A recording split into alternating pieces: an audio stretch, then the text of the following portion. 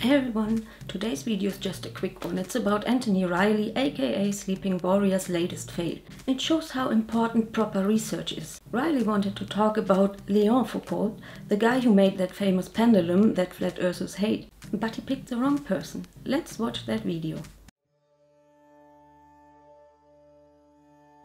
Paul Michel Foucault, the guy we all know for the pendulum effect.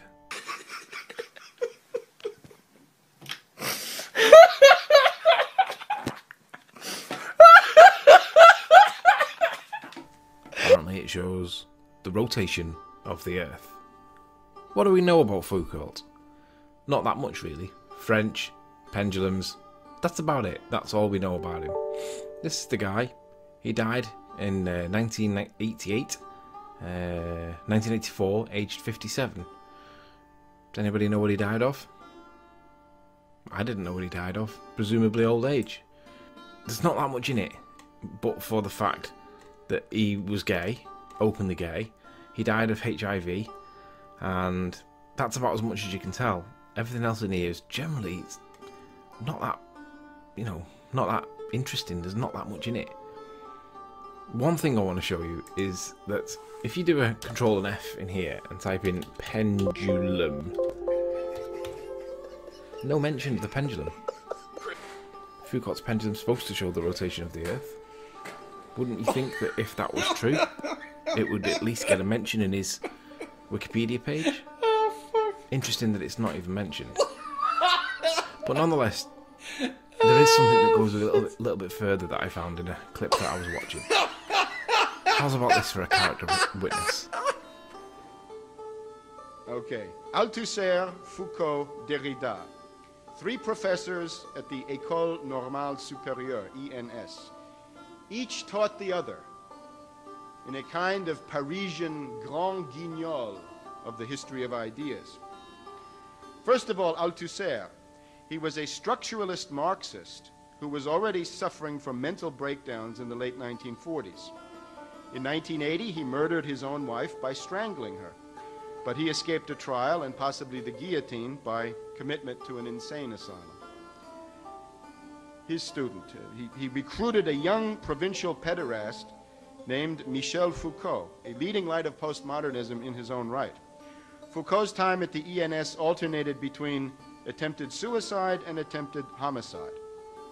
Foucault started off as a Nietzschean Marxist and allegedly was a speechwriter, a ghostwriter for Jean Kanapa of the Politburo of the Stalinist French Communist Party. Foucault has developed the doctrine that we are all deviants. This was picked up by R.D. Laing and other exponents of anti-psychiatry and used in their cost-cutting campaign to shut down the mental hospitals.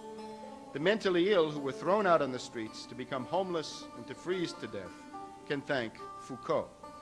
Foucault later became a Maoist. He preached mass extermination on the Pol Pot model.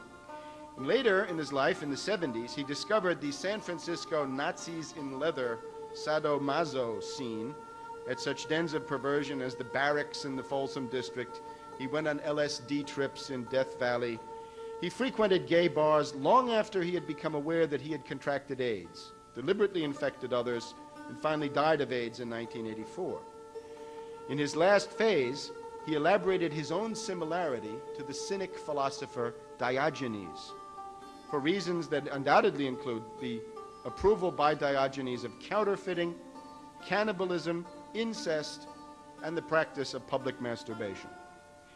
In Foucault's book, Les mots et les choses, or The Order of Things, Foucault predicted that all notions of mankind and humanity were destined to be effaced like a face drawn in sand at the edge of the sea when the tide comes in.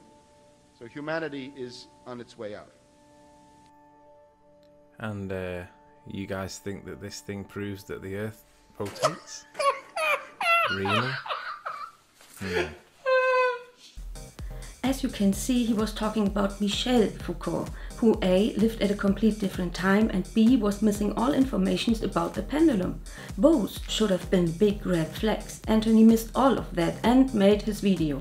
He got caught and tried to play it down as a minor mistake and even tried to act as there was never a video. But no, no, no, Anthony, this was a gigantic mistake. Think about the stuff you took time to point out and wanted to pin on the wrong Foucault. On top of that, even if this would have been the right person, if all of that was true, it absolutely would not at all invalidate the pendulum itself. It still works.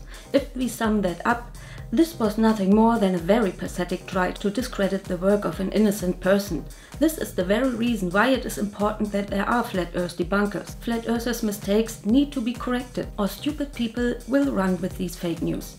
Everyone makes mistakes, but the response cannot be to play it down or even deny that it exists. I think this is all I have to say about this fuck up. Now some quick news to my channel. The reason why there was such a long time since my last video is that I wanted to make a video about flat earthers and symptoms of mental disorders, and I absolutely underestimated the amount of footage I had to go through for this. I need to do more than one video. The first one is almost done and follows soon. There will also be more videos about other topics because flat earth is so repetitive. It's not easy to find new flat earth stuff to make videos about.